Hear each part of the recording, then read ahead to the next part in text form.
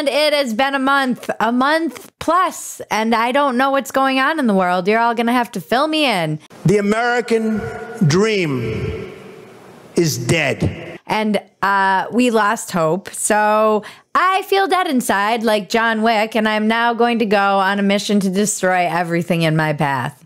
That is where I'm at. I am dead inside and don't care about anything other than my family, I guess. I care about them still. But that's it.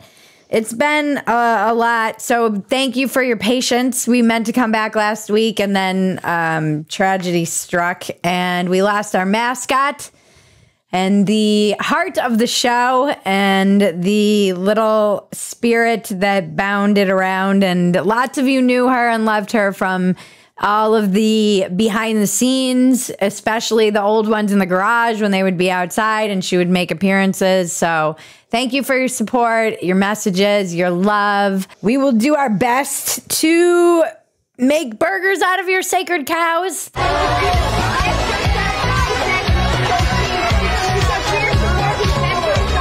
That's what we do here at Dumpster Fire and keep on pressing through into the final countdown.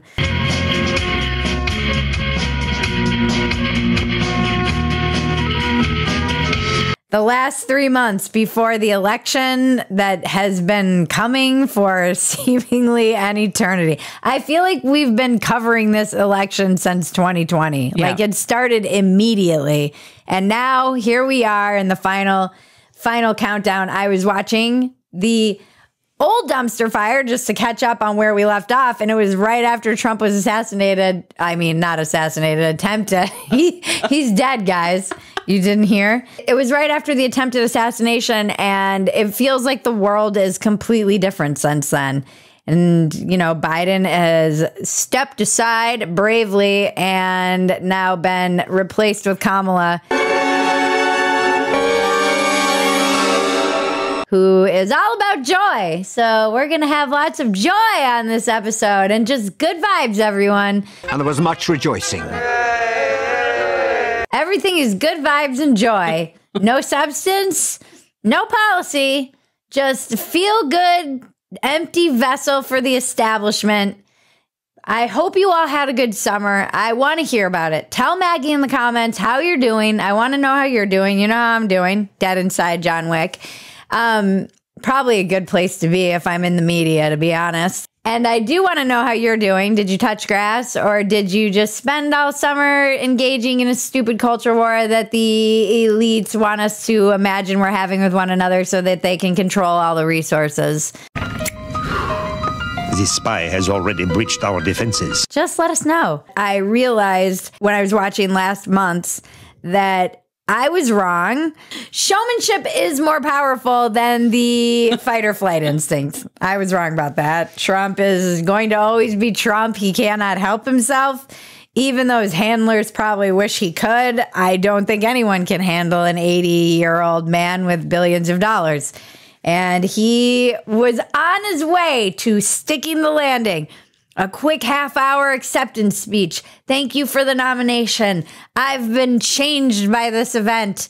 And then just get off, land, put your hands up, and be victorious. But no, he went for like two more hours airing his grievances and all of his things and his greatest hits. And he just can't help it. They're coming from prisons. They're coming from jails. They're coming from mental institutions and insane asylums. Boom, boom, boom.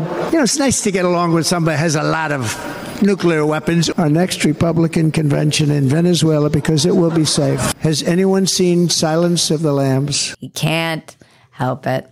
So yeah, I was wrong about that. And I'm wrong about pretty much everything in case you hadn't noticed watching this show.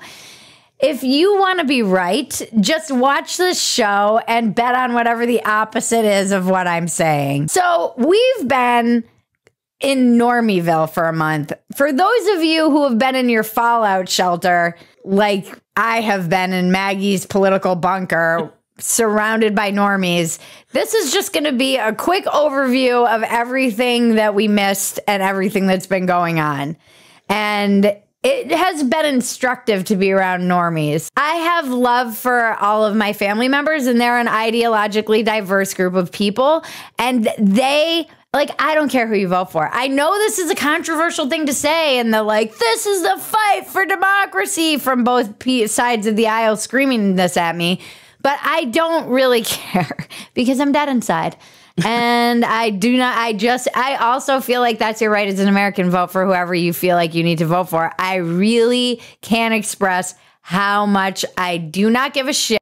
If you're here to have your biases confirmed and have you feel like, oh, I'm doing the right thing, I'm not going to be that person for you. You have to go to some other person out there. I'm the only the person who's going, I'm very confused about everything and I don't understand what's going on in the world at all.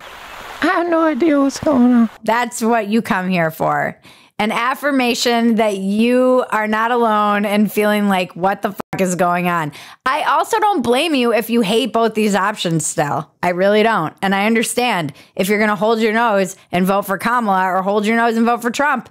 Usually people have to hold their nose and vote for somebody in this country. It is the American way. if you've been around normies, you know that they've mostly tuned out and they've already decided who they're voting for. I don't know who even cares about this. Don't care. Don't care. Don't care. Still don't care.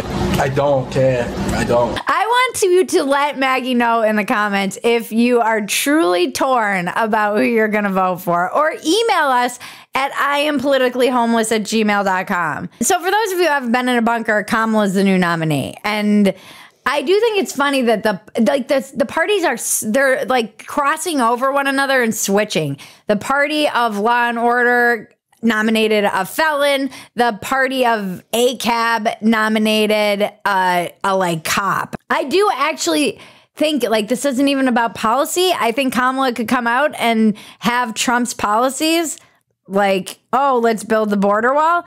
And people would still vote for her because it's really just a not Trump vote, which I also do understand. I don't understand the derangement around it. It's like uh, the hatred and the, it really clouds like every part of your day and being. I do understand just being sick of having to hear him and deal with him in, in media and in politics for three election cycles and people just wanting to be done with that. I think I think he is the kind narcissists wear people out. That's like that that's their kind of signature move. And I think more than anything, he's not Hitler. He's just like annoying people now. So that's even more dangerous. And I do think the Democrats are smart and they've realized that. I think that's why they're trying to pivot to like, we're patriots now. You're not. Everything's about joy. It won't be for long. Don't worry. And oh, we like, we don't care. He's not really Hitler. He's just like a, a dude who's weird. Like, you guys. So now we're in weird Hitler? Like this is where you guys this is the messaging that's going forth? I don't understand what the F is going on, but it's terrifying. and I just think that we're like in TikTok society now. We're just in the TikTok world. Hopefully, we'll get to the point where people announce their candidacies just like they do in the UK, where it's like a flash election and it's just people do flash dances out in the streets to try and get support for their candidates. And then they turn into mass shootings, probably. And it's like, ends up being whoever gets the most flash dances and TikTok support wins the election in like 24 hours.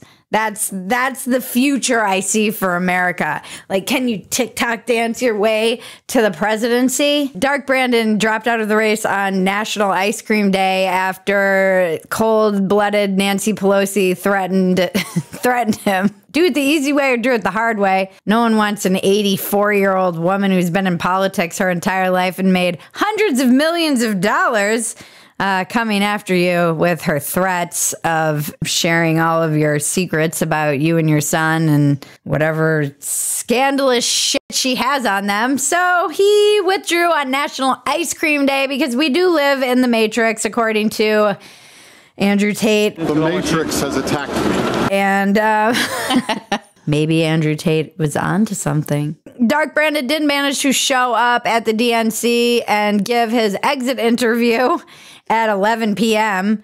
After everybody went to bed, including me, I tried to stay up for it, but they bumped him out of prime time because they couldn't trust that he wouldn't accidentally accept the nomination. which is the only reason anyone really tuned in. I mean, they just like swapped. There's no primary. They just swapped her in. I don't even know if this is legal. They were joking about it at the convention because dark Gavin Newsom, who can't even can barely contain his rage that Kamala got the nomination and they didn't put him in.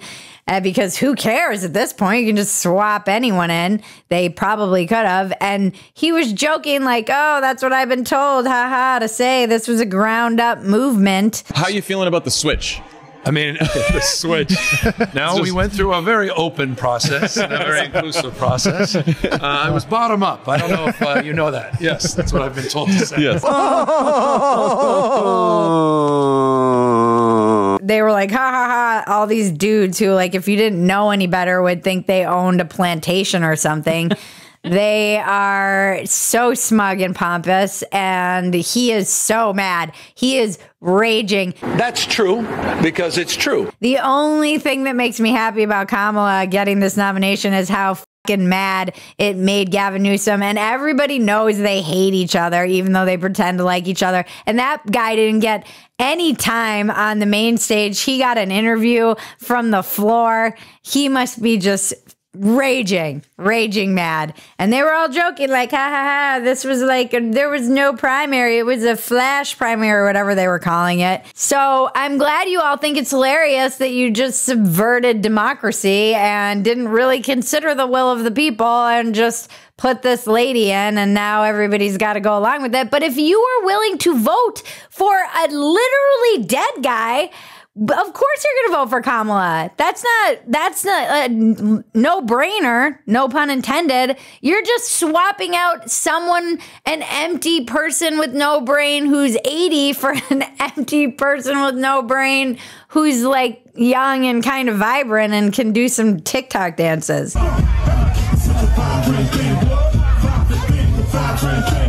They waited to the last minute to yank Peepaw's license and now they're scrambling. They're really trying to like capture this whole Obama 2008 vibe. By the way, white ladies for Kamala and everybody who supports her, learn how to pronounce her name. We did.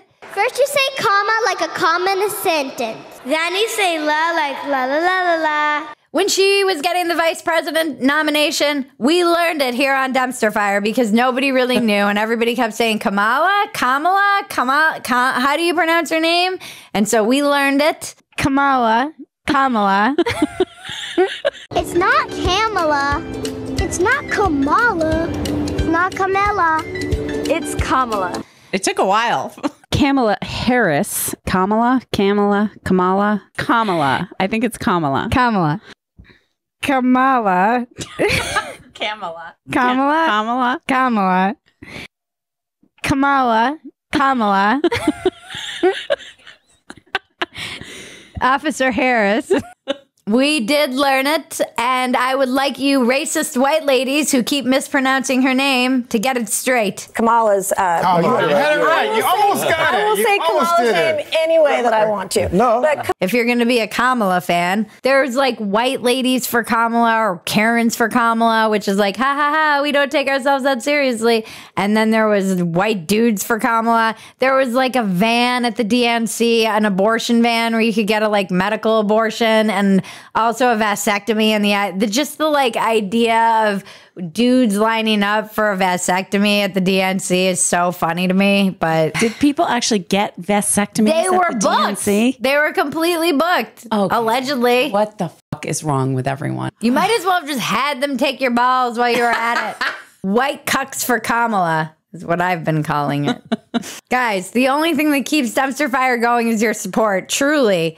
And if you go to phetasy.com and subscribe, you get to see all the unedited stuff. You get to meet Hope Dope back in the day. You get to see all of the peoples who come and go and all of the jokes that end up on the cutting room floor, which is 90% of them. And you get to join us in our community, which is growing all the time. And there's so much content. And now you get walk ins welcome and you'll be supporting that. So we really need your support now more than ever before. It will also motivate me to continue this into the new election.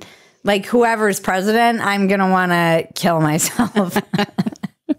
We're all going to be no struggling matter with that. what, I'm going to want to take my life. So, you know, for just $80 a year, you can keep a struggling comedian alive. At the very least, don't forget to like, subscribe, and touch my bells and buttons. And, you know, tell Maggie in the comments how you're doing. That's what we want to know.